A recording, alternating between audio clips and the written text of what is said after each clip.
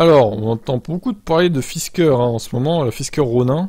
Donc euh, voilà. Publié un premier rendu Fisker de cabriolet Ronin, le futur cabriolet, la vitrine technologique de la marque automobile sera futuriste.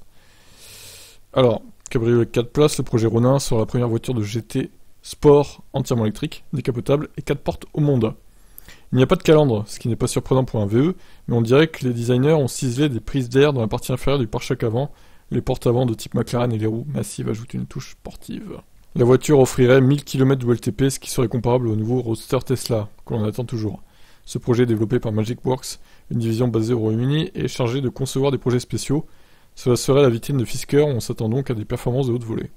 La, version définitive serait dévoilée en août 2023. La commercialisation au cours de la seconde moitié 2024. Bon, il y a le temps. Hein. Mais bon, peut-être qu'il arrivera avant le Roadster Tesla au final, ce Fisker Ronin. Très bien. Eh bien, on verra ça en août pour la présentation définitive de la bête. Vous en pensez quoi pour l'instant?